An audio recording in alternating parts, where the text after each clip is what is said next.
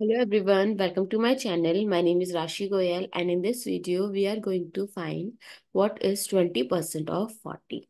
So let's start with the today's video solution.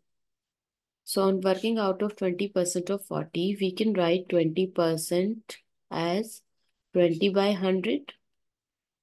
Now we have to finding the fraction of a number is same as multiplying the fraction with the same number. So 20 by 100 of 40.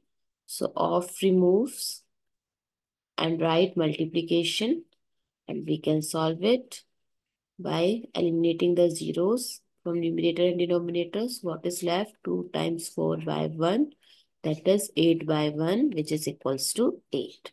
So 20% of 40 is 8.